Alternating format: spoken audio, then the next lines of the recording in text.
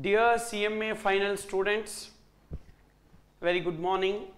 So today we are going to discuss a new topic that is warehousing under customs. So hope you have been watching uh, all the provisions that are applicable for CA final exam and as I said that extra topics will be provided to you. So this is an extra topic warehousing under customs and repeatedly in every CMA final exam they have been asking a question related to warehousing under customs. It's a very very important area.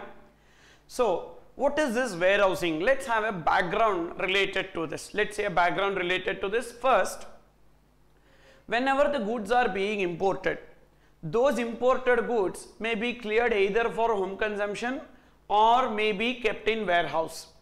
If it is cleared for home consumption, we need to pay customs duty or it can be deposited in warehouse without payment of customs duty by filing an into bond bill of entry or bill of entry for warehousing and whenever you need those goods you can clear it from the warehouse by filing ex bond bill of entry and of course upon payment of customs duty. Now here we also understood that whenever the goods are deposited in the warehouse still the goods are under the customs control. Is it customs physical control? I mean to say whether customs is having complete control over the warehouse. No, customs do not own the warehouse customs department do not the, own the warehouse but they will give license to operate a warehouse any person can obtain that license to operate a warehouse and in that warehouse they can keep their goods and whenever they clear it from the warehouse for production or sale they need to pay customs duty on that so therefore what will happen there is a deferment of duty liability because of warehousing.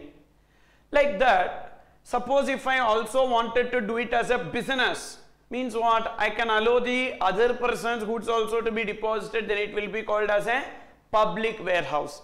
Like that warehousing is being licensed by the customs department, okay? Now, look into this section coverage. We have section 57 to section 73A section 57 to section 73A related to warehousing provisions. These are the sections 53 to 73A. Now, we are starting with a bird's eye view of the warehousing provisions first. So that now whenever we discuss the provisions, we will be in a position to understand as to why this is given. So we need to get a bird's eye view of the overall warehousing provisions whatever we have. So I just gave it in a simple chart form in the first page that is uh, page number 31.3. So in that page it is there. You can have a look into it. First, goods are imported by airways or waterways in port or airport and these goods will be under the custody of the custodian for a period of 30 days from the date when it is unloaded, it will be under the custody of the custodian for a period of 30 days. Within the 30 days, either we need to present bill of entry for home consumption or bill of entry for warehousing. Otherwise, what will happen after 30 days? So, the department will decide either to dispose of or can keep the goods in the warehouse, but this warehousing is not done by the importer, but done by the customs officer. Okay. So like that again they will for every 30 days they will review as to whether to keep in the warehouse or to dispose it off. Okay. Now that point we discussed in procedures under customs. Procedures under customs. So goods will be under the custody of custodian for 30 days. Now bill of entry for warehousing or into bond bill of entry is to be filed. And when it is filed whether the goods are cleared from the port or airport yes. Upon payment of customs duty or without payment of customs duty. Without payment of customs duty but we need to execute a bond. We need to execute a bond. Warehousing bond it is known as. Then from there we can take it to our place or it should be taken into the warehouse it should be taken into the warehouse what are the warehouses that we have public warehouse private warehouse and special warehouse. Like this, we have three different types of warehouse. In these three warehouses, public warehouse and private warehouse are control under the control of customs, not physical control, records based control, which means they have power to you know ask the warehouse keeper to submit the records to comply with all the provisions etc but physical control lock and key is not with customs department. Whereas special warehouse is under the physical control of the customs. Even though it is licensed they do not own it they license it but it will be under their lock and key that is under customs department lock and key. That is about this special warehouse. Whenever the huge duty involved items are being imported so there are some notified goods. Those notified goods will be deposited in the special warehouse. Understood? Then all these three warehouses are not owned by the government or customs department. It is licensed. Please see all three warehouses are licensed by principal commissioner or commissioner. Then what will happen in the warehouse inside the warehouse manufacture and other operations are permitted. So inside the warehouse i can do any processing assembly installation or any processing that i can do. And this warehouses this warehouses what is the time period up to which i can keep the goods? Because i cannot indefinitely defer my customs duty liability for few days i can defer my liability but i cannot indefinitely defer my liability only when i clear it from the warehouse if I need to pay customs duty, then on obsolete stock, importer will never pay customs duty because that obsolete stock will not be cleared any time from the warehouse. It will be there in warehouse. Then customs duty will never be collected by the department. So therefore, they have given a warehousing period. Please see. What is that? So warehousing period in case of EOU, EHTP, STP and private warehouse. EOU export oriented unit, EHTP electronic hardware technology park, STP software technology park and private warehouse. We can deposit the goods till the time it is cleared means warehousing period is indefinite. Warehousing period is indefinite. Whenever you want you can take until that point of time let the goods be there in the warehouse itself. Whereas for all others it is one year from the warehousing order so whenever warehousing order is passed, from that date, within one year only, the goods should be kept in the warehouse. Then, what is the interest free period? See, what we discussed so far is the warehousing period. How many days or how many years we can keep it in the warehouse. Now, we are discussing how many days it can be kept in the warehouse without paying any interest. Why interest we need to pay? Because we are deferring the duty liability. We are deferring the duty liability, customs duty liability, which means we need to pay interest because we deferred the liability, but there is an interest free period. For EOU, EHTP, STP and private warehouse, there is no interest. Why no interest? That is, you can indefinitely keep, only when you clear you need to pay customs duty, even interest you don't have to pay anything. Whereas for others, one year is the time limit, for which you can keep the goods in a warehouse and 90 days is the interest free period. Sir, you told that one year is the time limit. Now, what is this 90 days? That is, one year you can keep the goods in the warehouse. One year you can keep the goods in warehouse and 90 days is interest free period. Thereafter, you need to pay interest. What is the rate of interest? 15% per annum after the expiry of 90 days from the date of deposit in the warehouse 90 days from the warehousing order then what happens thereafter we may either clear it to another warehouse from that warehouse or we may clear it to the importer's place that is importer may come and take the goods for home consumption or from there itself the goods can be exported any of these three could happen either clearance from one warehouse to another warehouse or the importer may clear it for home consumption or it may be exported from there. These are the three possibilities that could happen. Suppose when it is cleared from one warehouse to another warehouse, no need to file any bill of entry, but a request for transfer is to be made because still it is in the warehouse only and customs duty is not payable but whatever bond that we have originally executed that will be retained. Done? Now last case you see, suppose if I have exported, no need to file bill of entry but a shipping bill is required to be filed for export. For export we need to file a shipping bill. In case of vehicle it is bill of export to be filed and whether any customs duty payable, no customs duty payable because we have not cleared it for home consumption and whatever bond that we have executed that will be released. Whatever bond that we have executed will be released. Done? Then Ex bond bill of entry for home consumption to be filed if you want to clear it for the home consumption. Ex bond bill of entry for home consumption. Clearance upon payment of customs duty and any bond executed shall be released. Done? So, whatever when you whenever you are clearing it for home consumption from the warehouse what is the bill of entry that you need to file? Ex bond bill of entry and you need to pay customs duty. Whatever bond that is executed will be released. And here there is one important supreme court case. What is that? The warehousing period is expired. The warehousing period is expired still you did not clear the goods from the warehouse then on expiry of warehousing period, it is deemed that you have cleared the goods from the warehouse and on that day, whatever is the relevant rate that is taken for computation of customs duty. Please see.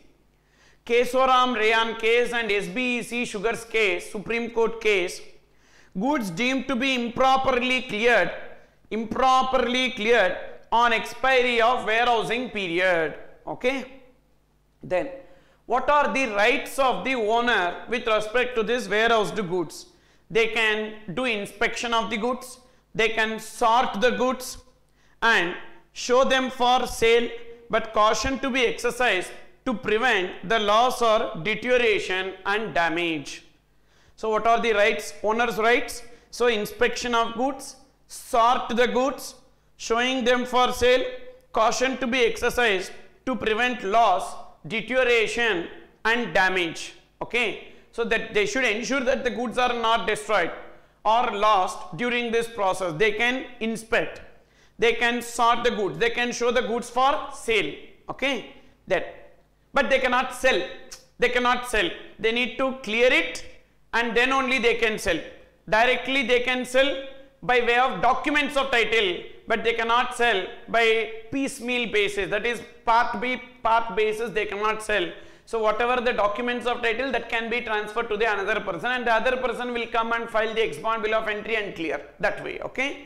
Next types of warehouses. So this is the summary of this is the bird's eye view of the entire warehousing provision like a summary kind of. Now let's go into the details of it types of warehouses. We have three types of warehouses. Public warehouse private warehouse and special warehouse. Public warehouse is as per section 57 private warehouse section 58 and special warehouse section 58a three sections deals with the three different types of warehouse. 57 58 and 58a who will be the licensing authority for all three warehouses, the licensing authority is principal commissioner or commissioner of customs, same. So even for private warehouse, even for special warehouse, the licensing authority is same, principal commissioner or commissioner of customs. Control. So I told you already, private public warehouse is only record based control. Private warehouse, private warehouse actually this will come here. Special warehouse only is under the customs lock based control. Such warehouse is caused to be locked by proper officer and no person to enter without permission of proper officer. But public warehouse and private warehouse will be having record based control both. So special warehouse will be under the customs lock based control so physical control. Licensing regulations that is not in syllabus so your uh, syllabus do not have these licensing regulations but there are licensing regulations. Who can start? What are the documents to be submitted? How much uh, deposit they should make? Like that regulations are there. So that regulations are governing this particular license. Who will get license? Who are the eligible people? What is the deposit that they should make etc permissible goods. In public warehouse any dutiable goods can be deposited in private warehouse any dutiable goods imported by or on behalf of the licensee. Suppose if i am importer only my goods can be deposited. That is a private warehouse. And I can deposit like uh, that is I am not importing. Any person is importing that can be deposited into this warehouse my warehouse. Then my warehouse is called as public warehouse. Got it? Then special warehouse only dutiable articles which are notified by the board can be deposited in the special warehouse then responsibility of the warehouse keeper so that is also not in syllabus so for that we have separate regulations that is warehouse custody and handling of goods regulations.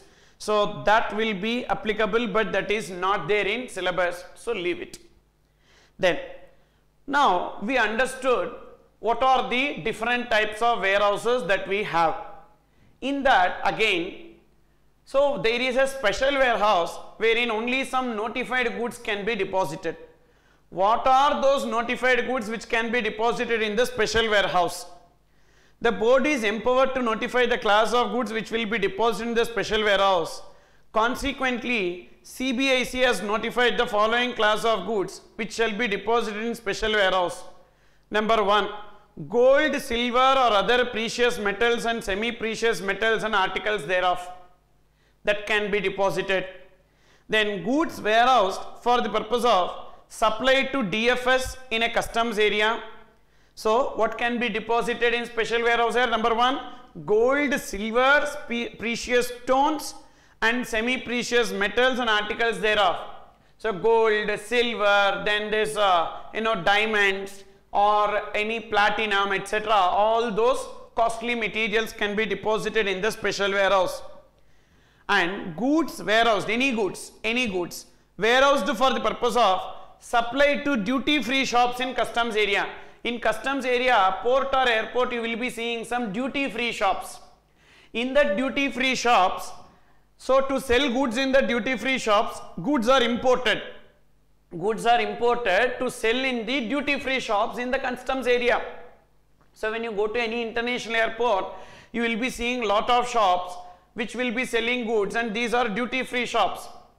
And any person can import the goods for sale in the duty free shops and those imported goods should not be cleared for home consumption, should be kept in the warehouse. Which warehouse? Special warehouse. Whether they need to pay any customs duty? No, because they are selling it in the duty free shop inside the customs area that is airport or port. So they are not required to pay customs duty. Then supply of stores to vessels or aircrafts. So stores provision we discussed in the store provision whenever goods are being imported, whenever goods are being imported for deposit in these stores, whenever goods are being imported for deposit in the stores, that is for, for, for the purpose of giving it as stores to the foreign going vessel or foreign going aircraft. So I am importing goods and I am giving it as stores to foreign going vessel or aircraft these goods I can deposit in the special warehouse without payment of any customs duty. Then supply to foreign privileged persons. If any goods are imported and supplied to foreign privileged persons, there are some foreign privileged persons to whom goods will be sold without collecting any customs duty. Imported goods will be collect imported goods will be sold to them without collection of customs duty and to those foreign privileged persons like people who are working in the embassies, consulates, etc. We can import the goods and keep it in the warehouse without payment of custom duty. That again, which warehouse? Special warehouse. So total four are notified. Number one, gold, silver, precious stones, semi-precious metals or articles thereof. Number two, that is goods which are required for duty-free shops, then goods which are required to be sold as stores to a foreign going vessel or aircraft, goods which are required for sale to foreign privileged persons. Okay. So now look into what is a DFS. a DFS in an airport need not be licensed as a warehouse. A duty free shop in the airport, should it be treated like a warehouse? No, no, that is not treated as a warehouse. CBEC has clarified that DFS does not meet the ingredients of section 58A. Further section 64 provides owner rights to deal with warehouse goods does not permit retail sales from the warehouse. From this it flows that DFS itself cannot be treated as warehouse. In fact, it is the point of sale for the goods which are to be ex-bonded and removed from warehouse for being bought to DFS in the customs area for sale to eligible persons, namely international passengers arriving or departing from India. Got it? So, what is it says? This circular says, we can import the goods and we can deposit the goods in the customs warehouse. Which customs warehouse? Special warehouse.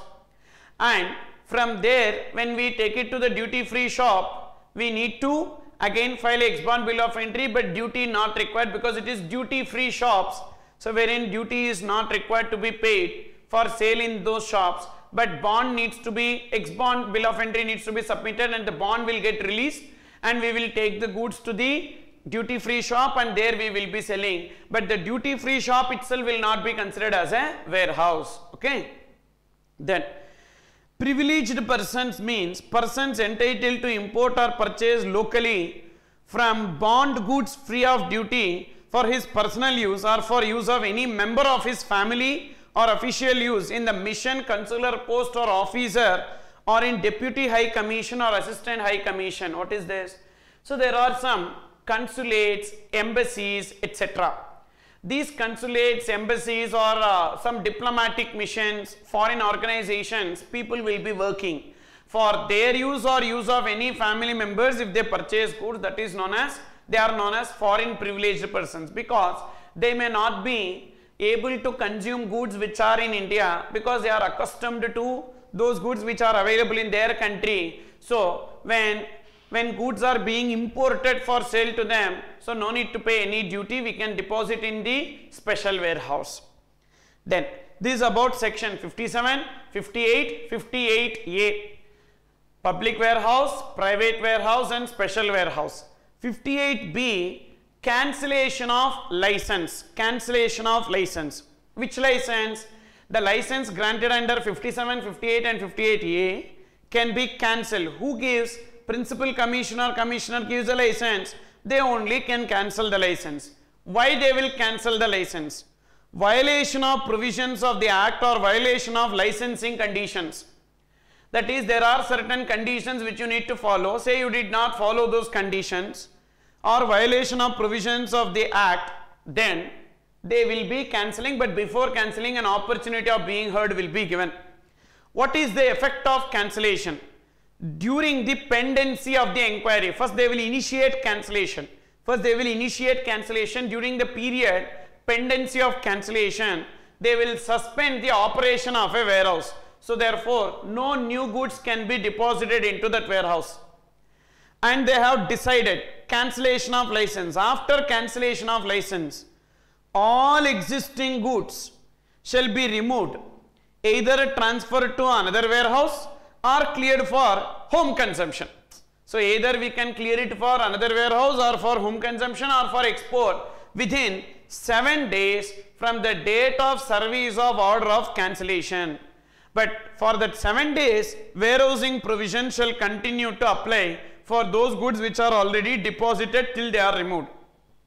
But, but no new goods can be deposited and within 7 days existing goods should be cleared Otherwise, after 7 days, what will happen sir if the goods are not cleared? It is deemed that the goods are cleared and customs duty is payable. Got it?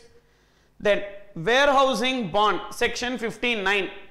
So section 57, 58, 58A, 58B is where this uh, cancellation of license. Now 59 we are discussing the provisions related to warehousing bond I told you that whenever we deposit the goods in the warehouse, we need to execute a bond. Because we are depositing in warehouse without payment of customs duty, so with customs department, we need to execute a bond.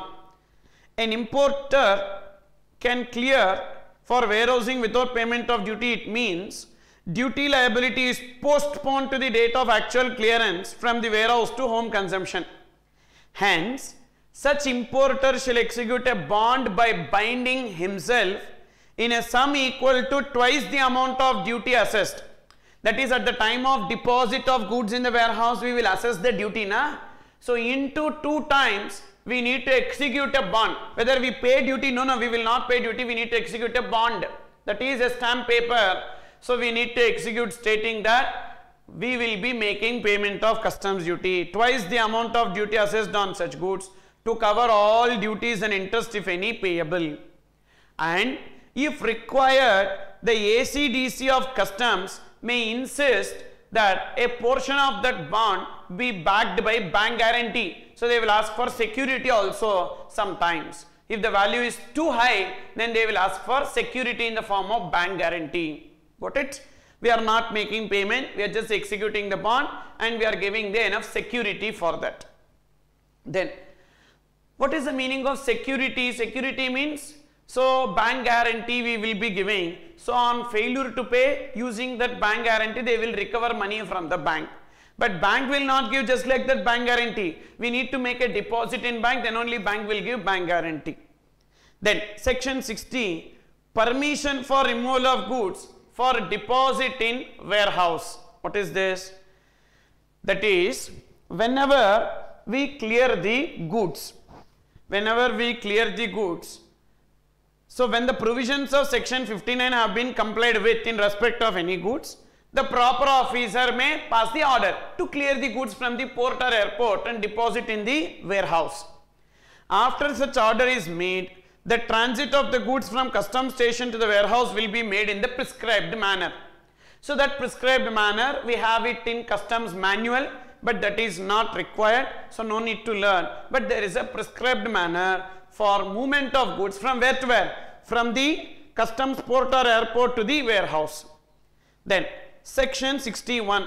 What is the period for which goods can be deposited in the warehouse? Already we have seen if it is by EOU, EHTP, STP then they can deposit the goods till the time it is actually cleared. No time limit even interest is not payable. For others they can deposit the goods for a period of one year and suppose if it is perishable goods that period of one year can be even reduced. Suppose if that period of one year is not sufficient, can it be extended? Yes, it can be extended for a further period of one year at a time. Means what? Plus one, plus one, plus one, plus one like that. It can be extended by the commissioner. By the commissioner they can extend. Wherever you see at a time means so plus one year, then again after one year they need to make a request, so plus one year, again after one year they need to make a request plus one year like that. And interest will be accruing. What is that interest? 15% per annum from the first day after the expiry of 90 days from the date of order. From the date of order. Okay, interest will be payable if goods remain in warehouse beyond 90 days from the date on which order is made and whether CBIC has power to waive the interest? Yes, in case of exceptional circumstances or for notified goods, they can waive the interest. Who is having the power? CBIC is having, otherwise interest is payable. So this interest computation can be asked in exam as a question, okay? Then, what should be taken as the valuation in case of warehoused goods? So this concept we discussed in you know rate of duty types of computation of customs duty there we discussed. What is that? I said whenever the goods are cleared from the warehouse we need to take whether it is for sale or not we need to check. If it is for sale we need to take assessable value plus basic customs duty plus social welfare surcharge or we need to take the transaction value at which goods are sold whichever is higher for computation of IGST payable, correct or not? See, this is for the purpose of computation of IGST only, not for others. For the purpose of computation of IGST, not basic customs duty, for the purpose of computation of IGST. So, we need to take assessable value plus basic customs duty plus social welfare surcharge or transaction value at which goods are sold, whichever is higher. Suppose if these are sold to one person, that person subsequently sells to another person, that person subsequently sells to yet another person like that, then it, we need to take what is the last purchase price should be taken as the value for payment of IGST. And suppose if it is cleared for home consumption, then we will take assessable value plus basic customs duty plus social welfare surcharge. Related to this in types of customs duty, we discussed even along with an illustration, you can refer to that, okay. Then, next, look into case study 1, X, an importer other than 100% EOU, STP unit, EHTP unit, other than them imported some goods and deposited them in a warehouse on 12-4. These goods were re-exported without payment of customs duty on 15-8. So, imported goods kept in the warehouse and re-exported on 15-8. With reference to the Customs Act, discuss whether any interest under section 61 subsection 2 is payable. First, try to understand when the goods are deposited in the warehouse 12.4 and these goods were re-exported without payment of duty. When it is re-exported, what will be the obligation when it is exported from the warehouse directly? At the time when we deposited in the warehouse, we did not pay any customs duty. Now it is directly exported from there which means no need to pay customs duty on import as well as on export. And whatever bond that is executed will be released. But the question is whether that interest because whenever goods are deposited in warehouse for a period beyond 90 days we need to pay interest na? Whether that interest will be applicable or not. Whether 90 days got expired or not easily. Because April in April already 30 days 30 minus 12 that is 18 days in April 31 days in May and 30 days in June then 31 days in uh, July, then August 15 days, already we cross 90 days. So whether we need to pay interest or not in this case is the question. Now listen, you don't have the duty liability itself. You don't have the duty liability itself from where you will pay interest. See, if you have the warehousing liability, you will pay interest. When you don't have the liability at all, liability to pay customs duty at all, where from you will pay interest on that. So this is given by Supreme Court in Pratibha Processors case by Supreme Court in 1996. Please see this answer. As per section 61 subsection 2 if goods belonging to importer other than 100% EOU, STP, HTP remain in warehouse beyond a period of 90 days from the date on which order under section 60 subsection 1 is made interest is payable at the rate of 15% on the amount of duty payable at the time of clearance of goods from the period from the expiry of said 90 days till the date of payment of duty on the warehoused goods. Correct? In Pratibha processors, the Apex Code has held that when goods at the time of removal from the warehouse are wholly exempted from payment of duty, the liability to pay interest cannot be saddled on a non-existing duty. So when duty itself is zero, why you ask them to pay interest? So liability to pay interest is solely dependent upon the exigibility or actual liability to pay duty. In case the liability to pay duty is nil, underline that, in case the liability to pay duty is nil, then interest will also be nil. Okay, understood? Then look into case study 2. The assessee other than 100% EOU, STP, EHTP imported capital goods and deposited them in the warehouse. The said goods were not removed from the warehouse within the period permitted under section 61 subsection 1 that is 1 year. Subsequently, the assessee filed an application for relinquishment of title of such warehoused goods. So, they filed a relinquishment of title of such warehoused goods. Is it possible? we have relinquishment of title in section 23 subsection 2 relinquishment of title but that is not applicable here we have another relinquishment of title in proviso to section 68 so warehoused goods we can relinquish the title with respect to warehoused goods, we can relinquish the title. The department contended that since the assessee did not file an application for extension of warehousing period before the expiry of warehouse period, see warehouse, you kept the goods in the warehouse, there is a statutory time limit of one year.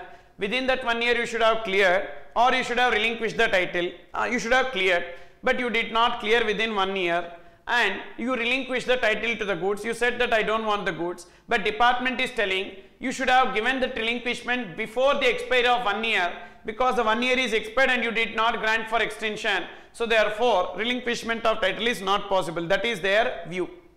The department contended that since the assessee did not file an application for extension of warehousing period before the expiration of period fixed under section 61 subsection 1c, after expiration of the said period, the goods could no longer be termed as warehoused goods.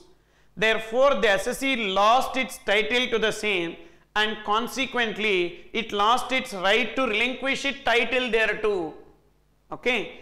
It was further claimed that the relinquishment of title to the said goods ought to have been made by the assessee before the expiration of warehousing period and not thereafter and therefore the goods were deemed to have been improperly removed from the warehouse. Consequently they have to pay duty along with interest and where in relinquishment is not applicable. This is the department stand.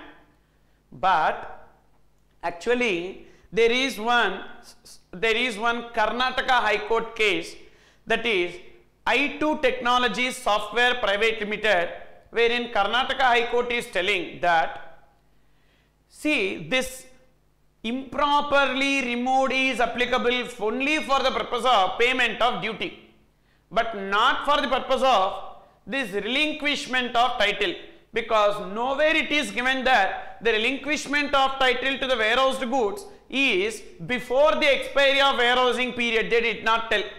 Which means that relinquishment of title can happen even after the expiry of warehousing period if the goods are in the warehouse please see in the instance case the high court rejected the department's contention that on expiration of warehousing period or on expiration of extended warehousing period the owner of goods loses his title, consequently also loses his right to relinquish the title. So this view of the department is rejected by the High Court.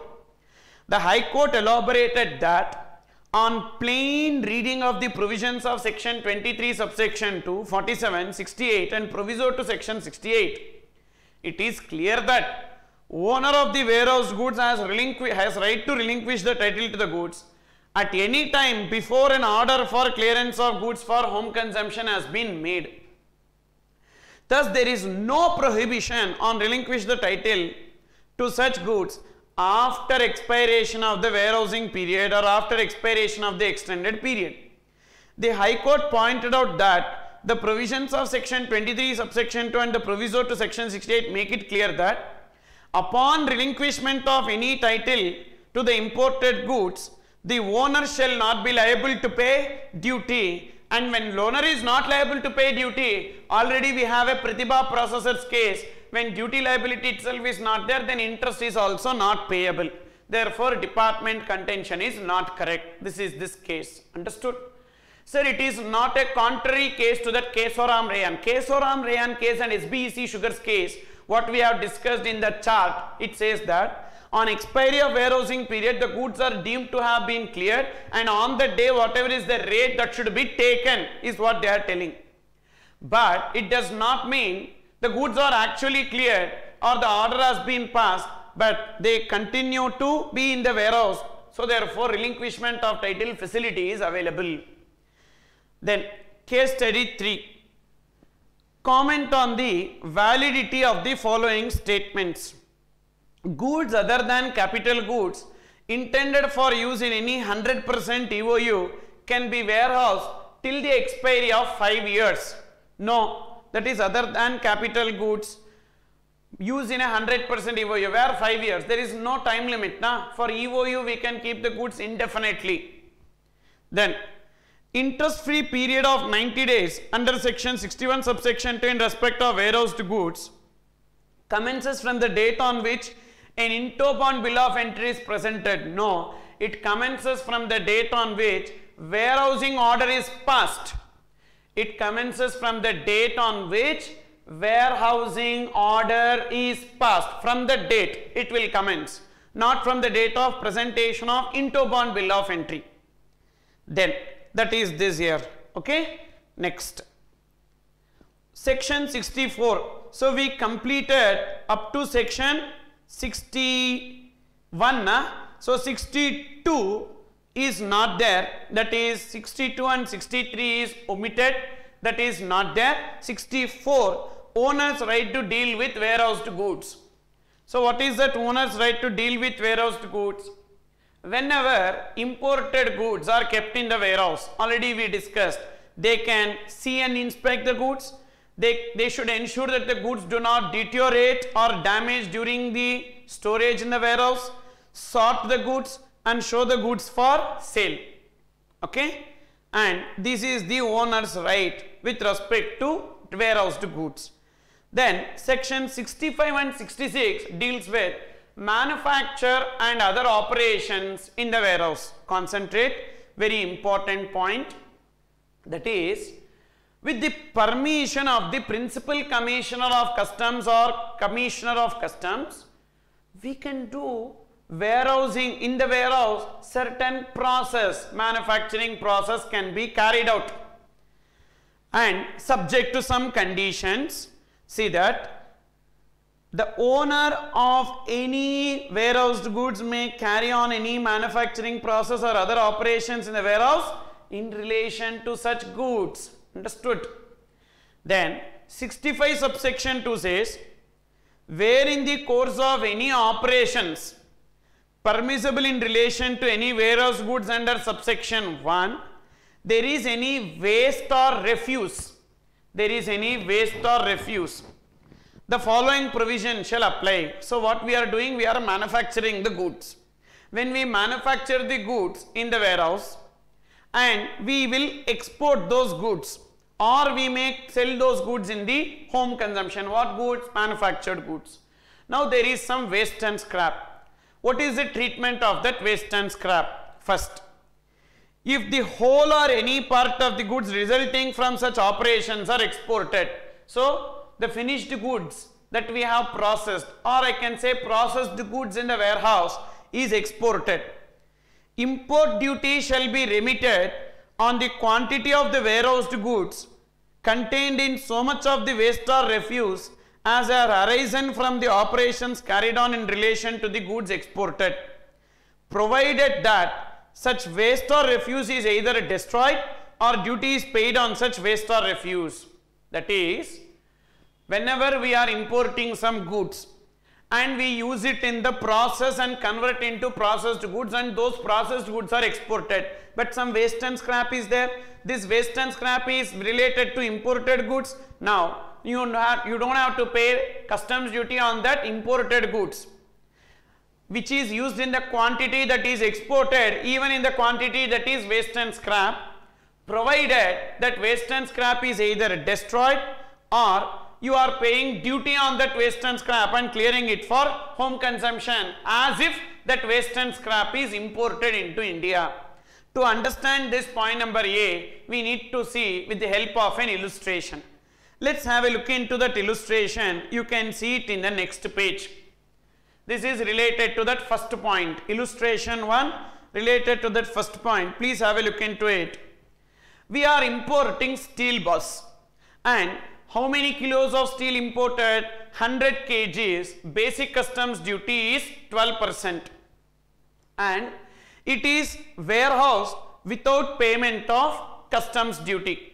It is warehoused without payment of customs duty and we have used it, we have used out of 100 kgs, 96 kgs in manufacture of utensils and 4 kgs is waste and scrap. Now, this 96 kgs of steel used in manufacture of utensils which are exported without payment of customs duty. Now, whether on that 96 kgs of steel imported, we need to pay any customs duty? No. no need to pay customs duty on the steel imported because the utensils which are manufactured out of that steel imported we have exported due to that reason. Now remaining 4 kgs what has happened? It is as waste and scrap. And what is the rate applicable to the steel? 12%. What is the rate applicable to the waste and scrap? 5%. Now listen carefully.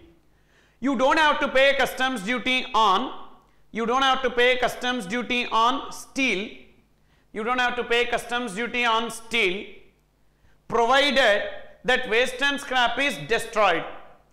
Or if it is cleared for home consumption that waste and scrap is cleared for home consumption then also you don't have to pay customs duty on steel but you need to pay customs duty only on the waste and scrap. So customs duty payable at the rate of 5% not at the rate of 12% customs duty payable at the rate applicable to waste and scrap that is 5% only so this is the facility what we have in section 65 got it then look into point number B. This is point number A is what? When entirely it is used in export. Now point number B. If whole or any part of the goods resulting from such operations are cleared from the warehouse for home consumption. So what we are doing? We are clearing it for home consumption.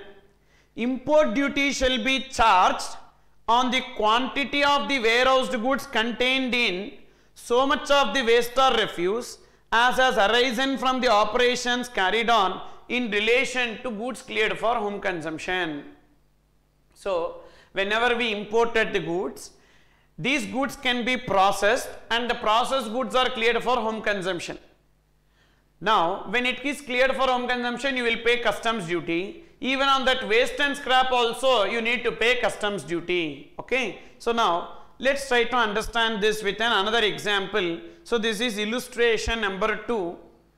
Illustration number 2 that is import of steel 100 kgs basic customs duty is 12 percent normal warehoused without payment of customs duty.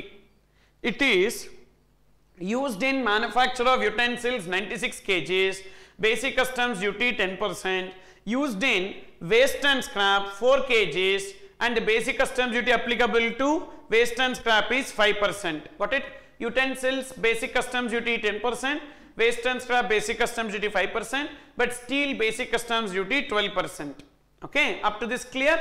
Now, what we are doing with that 96 kgs, we make utensils. What we are doing with the utensils? We are exporting means how much is the quantity of steel present in that exported utensils? 24 kgs, uh, 25 percent that is 24 kgs and cleared for home consumption.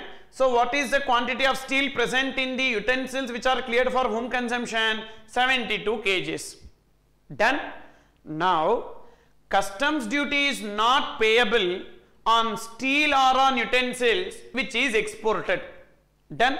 Suppose if it is clear for home consumption, customs duty payable on 75 kgs of steel 70 sorry 72 kgs of steel 72 kgs of steel used for one second one second 75 is correct only because here 72 72 used for home consumption at the rate applicable to steel that is 12 percent plus proportionately waste and scrap also you take Waste and scrap how many kgs? 4 kgs. In that 4 kgs take the same proportion 25 75. So how much is the waste and scrap related to home consumed goods?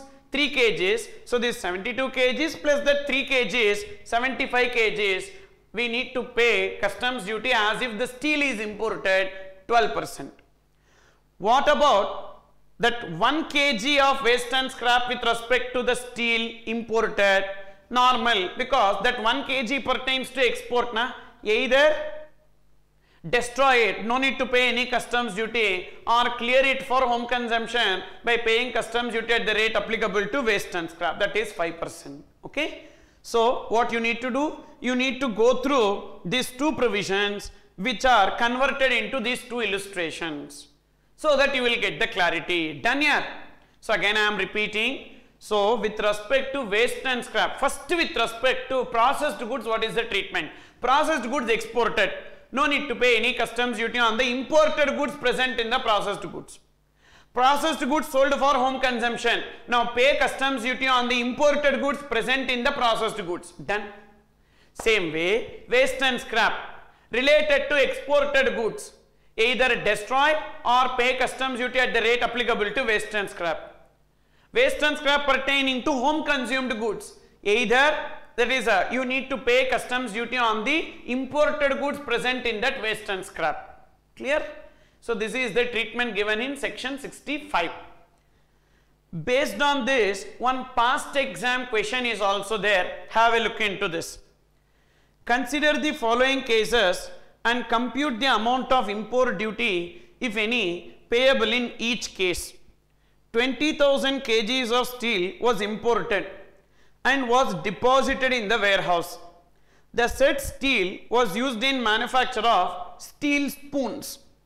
19,800 kgs of steel spoons manufactured and 200 kgs of steel waste arose during the manufacture. The said 19,800 kgs of steel spoons is exported out of India. Okay. Now, so what is the import duty payable? Please listen carefully. 20,000 kgs of steel was imported and was deposited in a warehouse. The said steel was used in manufacture of steel spoons. 19,800 kgs of steel spoons manufactured and 200 kgs are waste. The said 19,800 kgs of steel spoons is exported. Now what about the 200 kgs? Either destroy it or pay customs duty at the rate applicable to that 200 kgs of waste and scrap. Okay. B. What will be your answer if in case A above the entire 19,800 kgs of steel spoon is sold in domestic market then on that entire 19,800 kgs we will be paying customs duty even on that waste and scrap also we need to pay customs duty means entire on 20,000 kgs we need to pay customs duty. Then see, What will be your answer in case A above 50% of the steel spoons are exported out of India and balance sold in the domestic market. Whatever is the spoons which are exported, we don't have to pay customs duty with respect to the quantity used in the exported goods. So how much? That is total divide the 20,000 kgs into 2. That is 10,000, 10,000, 10,000 exported. In the 10,000, what is the quantity of the export? That is waste and scrap and export. We need to check. See 19,800 divided by 20,000 is 99%. So 99% is for what? 99% is finished product and 1% is waste and scrap. So out of 10,000 kgs, 1% that is 100 kgs is waste and scrap pertaining to exported goods. So imported goods that is 9,900 kgs you don't have to pay customs duty. Even on this 100 kgs of waste and scrap you don't have to pay customs duty if it is destroyed or you pay customs duty at the rate applicable to waste and scrap. This is in case of export in case of domestic that is home consumption what is the remaining 50 percent 10000 kgs whether you whether you convert into processed goods or not on that entirely you need to pay on entire 10000 kgs you need to pay customs duty. Okay? So that is the answer here. Okay here then section 66 what is that if any imported materials are used in accordance with the provisions of section 65 for manufacture of any goods and the rate of duty leviable on imported materials exceeds the rate of duty leviable on such goods. The central government is satisfied that in the interest of the establishment or development of any domestic industry, it is necessary to do so, may by notification in the official gazette exempt the imported materials from whole or part of the excess rate of duty. What does it mean? Read it carefully. That is, that is, whenever you are importing goods, whenever you are importing goods, there is a rate applicable to those goods. But when you are processing the goods, on processed goods the rate is less. So go to, go to that example which we have seen. Steel when we imported 12 percent, but when we converted it into utensils and cleared for home consumption on utensil the rate is 10 percent. Now under section 66 66 government can make rules to exempt 2% and ask us to pay only on 10%, only 10% as customs duty. Now you read it. If any imported materials are used in accordance with the provisions of section 65 for manufacture of any goods and the rate of duty leviable on imported goods exceeds the rate of duty leviable on such goods. So imported goods is steel 12% whereas utensils 10%. The central government is satisfied that in the interest of the establishment or development of any domestic industry, it is necessary to do so may by notification in the official gazette exempt the imported material from whole or part of the excess rate of duty means that 2% excess may be exempted. Got it? That is about section 66. Then we have section 67, 68 and 69 removal from the warehouse. Whenever goods are removed from the warehouse, for what purpose it is removed from the warehouse? Either for clearance to another warehouse or, or for the purpose of you know home consumption or for the purpose of export. Section 67 says clearance from warehouse for what purpose? Transfer to another warehouse. Section 68 clearance for home consumption. Section 69 clearance for export. Now, so in case of transfer to another warehouse, what is the procedure? No duty payable on transfer to another warehouse. Import duty shall be payable when the goods are subsequently cleared for home consumption from the new warehouse. Then, then what will be taken as the warehousing period? The warehousing period will be the date of order till the date of clearance from the final warehouse. So period in old warehouse plus period in new warehouse.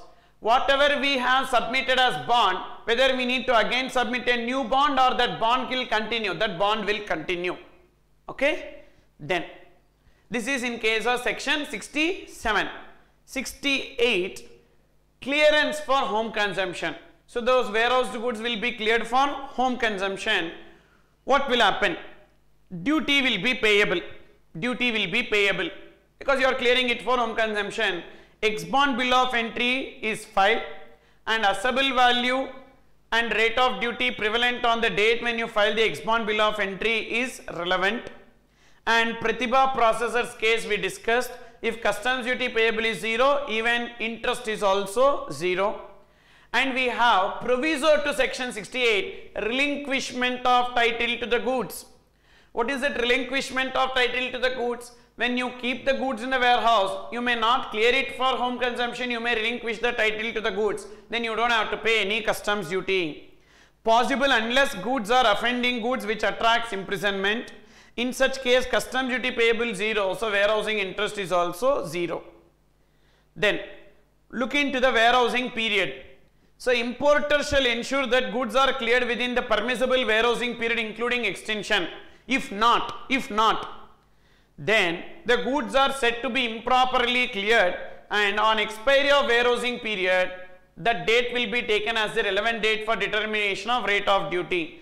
So SBEC Sugar Limited and Kesoram Rayon case, if no clearance till permissible period expires, 72 becomes applicable so last date of warehousing period will be taken as the deemed date of removal and on the date whatever is rate is there that should be taken and bond executed shall be cancelled and discharged whenever you clear it from the warehouse for home consumption. Suppose if you are clearing it for export that is warehoused goods are taken to a place outside India exported whether any customs duty payable on import? No, because the goods did not cross the customs barrier. In case of commercial export, shipping bill or bill of export shall be filed. In case of postal export, label or declaration accompanying the goods. Here always customs duty payable is 0, so therefore warehousing interest is also 0. Suppose those goods are chargeable to customs duty on export those goods are chargeable to customs duty on export. I told you, not all goods are exempted for payment of customs duty on export. There are some goods which are chargeable to customs duty on export. Then, warehousing interest shall be computed. Understood? So, warehousing interest shall be computed in that case. If the goods are, if exported goods are chargeable to customs duty, then warehousing interest is applicable. Then, export to nearby countries from where they are likely to be smuggled back. So, in that case, in that case, so what is the benefit here? Imported goods kept in the warehouse, sending it to like uh, nearest countries as export. Again, it will come back to India. So, in that case, central government in respect of any goods may notify no export without payment of customs duty on import. So, you can export only if you pay the customs duty on import or export without payment of customs duty on import subject to additional safeguards and compliances. Then next, importer shall ensure that goods are exported within the permissible warehousing period and bond executed shall be discharged. What if there is no clearance till the permissible period expires? 72 is applicable. Exporter shall make a request for extension of the warehousing period. Officer shall allow his request of extension. Post extension, the goods can be exported. But this export is not export within the permissible warehousing period, but still you can export. So, you can export on payment of customs duty. So, you have to pay customs duty because it is deemed to have been cleared and then you can export whatever customs duty you have paid that you will get as a duty drawback upon export. Then section 70 allowance in case of volatile goods. So 67, 68 and 69 we discussed. Now 70 allowance in case of volatile goods. Just like that uh, section 24 we discussed now denaturing mutilation of goods like that whenever we imported some goods and those goods got evaporated. Those goods got evaporated. Any notified warehouse goods at the time of delivery from a warehouse are found to be deficient in quantity on account of natural loss. ACDC of customs may remit the duty on such deficiency. For example we imported now some 100 casks of whiskey and each cask is containing 100 liters and at the time of clearance we deposited it in the warehouse. At the time of clearance only 970 liters are there. 30 liters is missing natural loss. In that case whether we need to pay customs duty on 1000 liters or 970 liters. So each cask contains 100 liters. So number of cask 10 cask so 1000 liters so 97 liters is only present 3 liters is missing. So 970 liters 30 liters is missing. Whether we need to pay customs duty on 1000 liters or 970 liters it is 970 liters. That's what it says. This section applies to such warehouse goods as the central government having regard to volatility of the goods and the manner of their storage may be notified in the official gazette. Then section 71 we discussed. For what purpose goods should be cleared from the warehouse? For home consumption export or to another warehouse. Goods improperly removed from warehouse. Contravention of section 71 without filing ex bond bill of entry we cleared from the warehouse. Contravention. Or after expiry of warehousing period also you did not clear. Contravention. So neither cleared for home consumption or export or duly accounted for the satisfaction. Goods are missing but there is no proper reason. In this case, the proper officer may demand and the owner of such goods shall forthwith pay the full amount of duty chargeable on goods along with interest, fine and penalty. So what is this? Whenever the goods are improperly cleared, when the goods are improperly cleared, either it is not as per section 71 which means which means we did not follow the prescribed procedure for clearance. Number 2 we did not clear it within the permissible warehousing period or the goods are destroyed but we did not properly account it. Then customs officer may ask the importer to pay the customs duty immediately along with interest fine and penalties if any. Kesoram Rayon case already we have discussed so what will be taken as the rate of duty etc. Then look into case study number 5. Certain goods were imported in February 2018. into bond bill of entry was presented on 14 February 2018 and the goods were cleared from the port for warehousing. Assessable value was 5 lakh dollars. Customs officer issued the order under section 60 permitting the deposit of goods in the warehouse on 21st February 2018 for 3 months. Goods were not cleared even after warehousing period was over that is 21st May 2018 and extension of the time was also not obtained. Customs officer issued notice under section 72 demanding duty and other charges. Goods were cleared by the importer on 28 June. So please see the dates are important here. Certain goods were imported and bill of entry is presented on 14 February and goods were cleared from the port for warehousing. Assessable value was 5 lakh dollars. Customs officer issued order under section 60 permitting, permitting the deposit of goods in warehouse on 21st February. That is relevant for determining warehousing period. For how many days? 3 months. But actually 1 year na sir. But in case of perishable goods they can reduce the warehousing period. So 3 months which means 21st February. So March, April, May. February to March, March to April, April to May. By 21st May, the goods should have been cleared.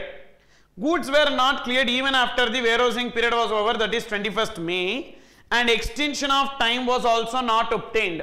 Means 72 gets attracted, that is improperly cleared. Goods were cleared by importer Customs officer issued notice under 72 demanding duty and other charges. Goods were cleared by importer on 28th June. So when it is actually actually cleared 28th June. What is the amount of duty payable while removing the goods? Compute on the basis of following information.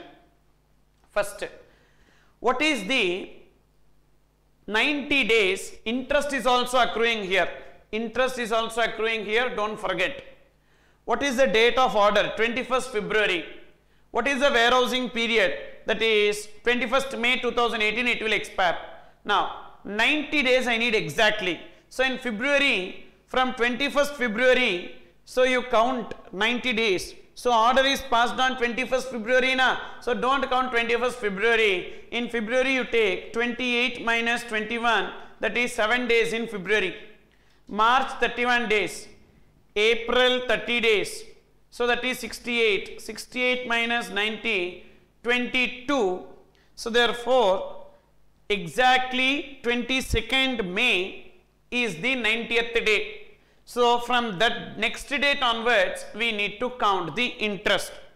So what is the period for which interest is payable? What is the period for which interest is payable?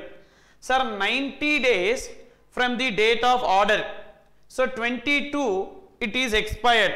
So please see what is the number of days for which we need to calculate the interest. What is the number of days we need to calculate the interest.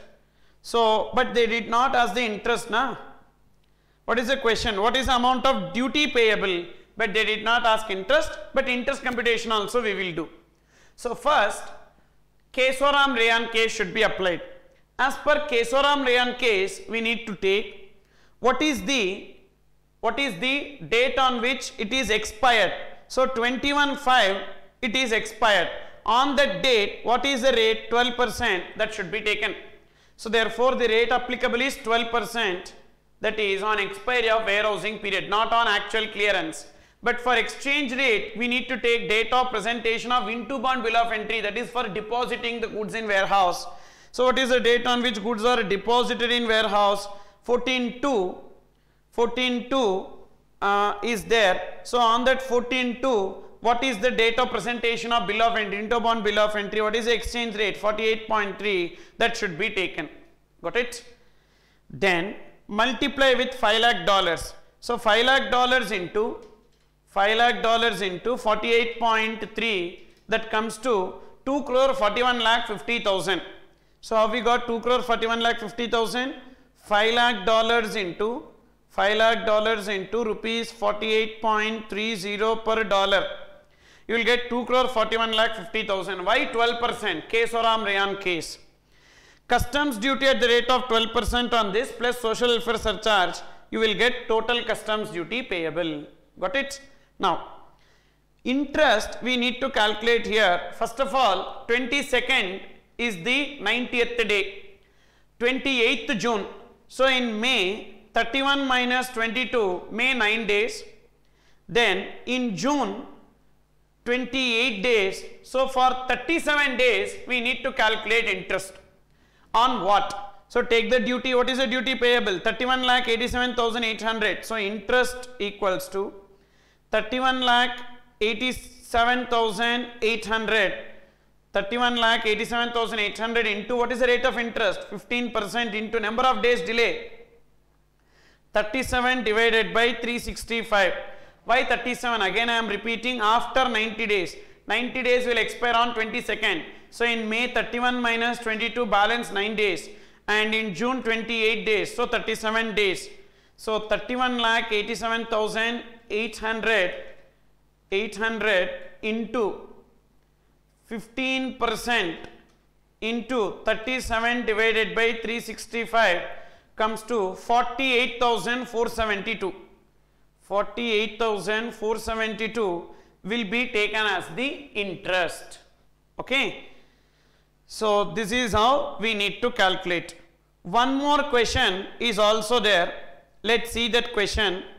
Case study number 7. Case study number 7 page number 31.15 Vipul imported certain goods in December 2018 a thrice the duty bond bill of entry was presented on 14 December. Now it is twice. Previously it was thrice. It's okay. Let it be. And goods were cleared from the port for warehousing. Assessable value on that date was US dollar 1 lakh so, when the order was passed, the order permitting the deposit of warehouse goods for 4 months was issued on 21st December 2018.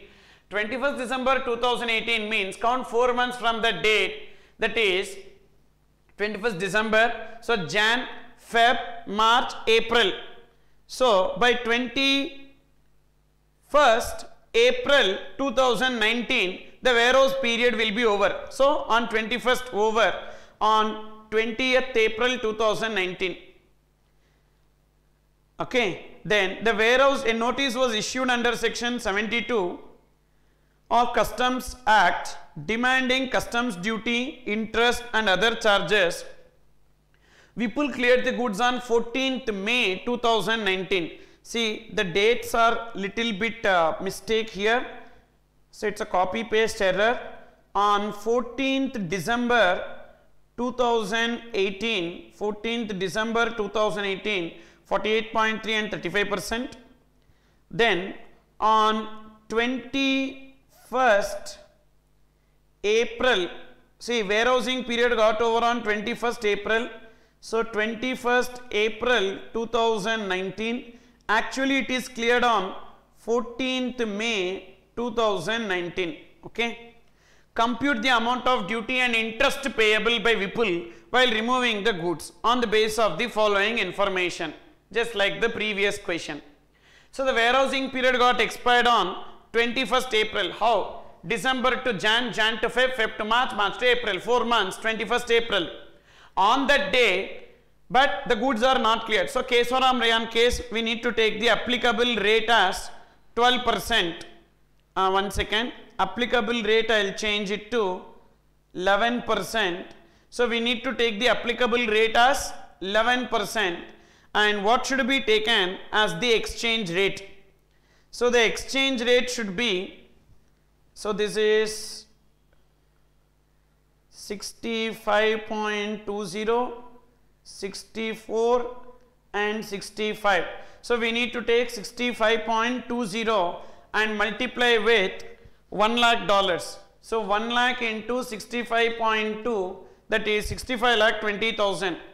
1 lakh dollars into 65.2 1 lakh into 65.2 65 lakh 20,000 on that we need to take uh, let me take this rates also as 10 percent this is 30 percent, 10 percent and 15 percent. Okay. So 10 percent should be taken. So 10 plus social welfare surcharge 10, 11 percent.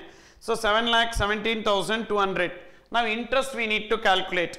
First, what is the date on which order is passed?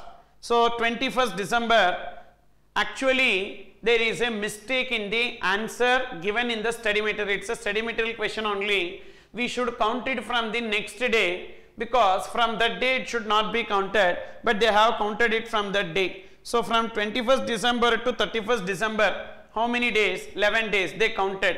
But actually in exam it is up to you. As it is given in the study material itself, you count it from the day including the day on which order is passed.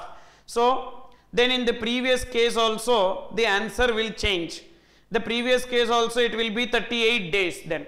If you include that day also, then 38 days will come. So accordingly the answer will not be 48,472 so 31 lakh 87,800 into 15 percent into 38 divided by 365. So 49,000 49,782 will come. Is it clear? Now, so you need to include the date on which order is also passed.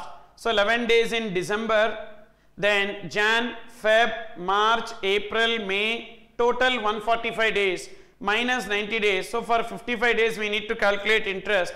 So 7 lakh 17,200 into 15 percent into 55 divided by 365, 16,211 will be taken as the interest computation. Is it clear? So this is with respect to one question. This is a study material question which is given. You can go through this at your end. Then I will rectify this and I will update the PDF. So therefore don't worry. So you will be seeing the updated PDF which is available in the Google Drive. Then look into this uh, regulations. We have one regulations warehoused goods removal regulations 2016. So this regulations what is the purpose I told you from the warehouse to the from the port to the warehouse how the goods should be moved. So that regulations is only given here where the warehoused goods are to be removed from one warehouse to another warehouse or from warehouse to a custom station for export. The owner is required to make a request in the prescribed form for transfer of goods.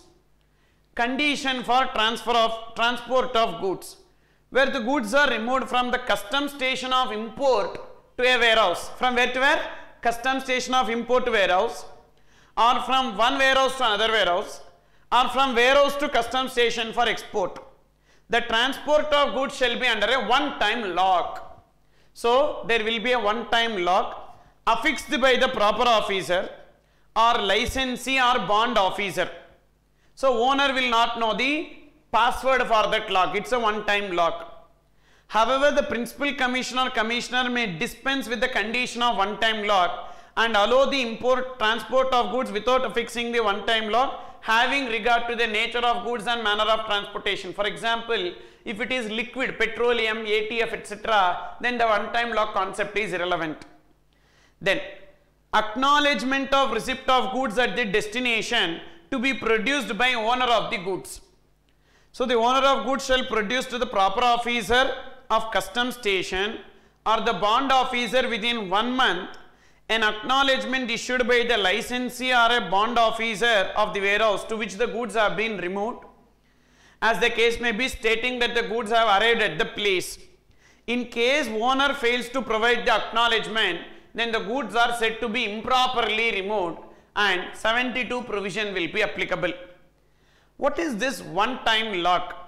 When the goods are removed from custom station of import for warehousing, the proper officer affixes a one-time lock on the container or means of transport.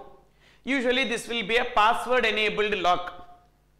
The serial number of the one-time lock along with the date and time of its affixation needs to be endorsed upon bill of entry for warehousing. Why? Otherwise importer can break that lock and put another lock so, the serial number of that lock, not the password, the serial number of the lock and the bill of entry, vehicle, everything will be noted in the bill of entry. So that even if you try to break that old lock and put a new lock, they will come to know.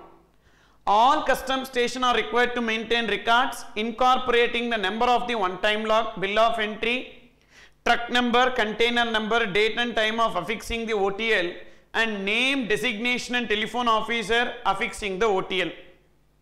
Okay. And however, the principal commissioner or customs of customs commissioner may permit movement of goods without affixation of one OTL that already we discussed. Transfer of goods to another warehouse. If it is, if it is from public or private warehouse or special warehouse, we have a procedure. We have a procedure and you can go through this procedure at your end. It's not that important procedure and all. So you can go through this procedure at your end for transfer of goods to another warehouse. And look into case study 6. Explain the validity of the following statement. See even you can skip this regulations also it's okay. You can skip this warehouse goods removal regulations also it's okay. So you will not be tested on this concept. Now look into this, this question Explain the validity of the following statement with reference to chapter 9 of the Customs Act containing the provisions relating to warehousing. The proper officer is not authorized to lock any warehouse with the lock of the customs department. Any warehouse. So actually the statement is invalid. In case of special warehouse, they will lock with the lock belonging to the customs department. So therefore the statement is invalid. The Commissioner of Customs Appeal may appoint public warehouses wherein the dutiable goods may be deposited. Invalid. It is not Appeals Commissioner. It is normal Principal Commissioner of Customs or Commissioner Customs will give the license to start a warehouse. Then the Commissioner of Customs or Principal Commissioner of Customs is not required to give notice to the licensee while cancelling the license of a private warehouse. No, there is an opportunity, uh, sorry, in case of a private warehouse, cancelling the private warehouse.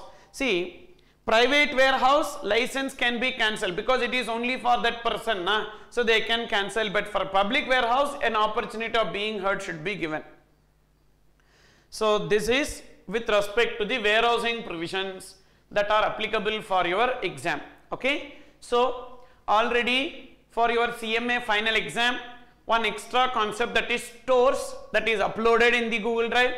And this is another concept that is warehousing under customs. Okay? So whatever doubts that you have you can telegram with me related to this. So i will clarify those doubts to you. Okay? Thank you and the other topics also in the due course it will be uploaded. Thank you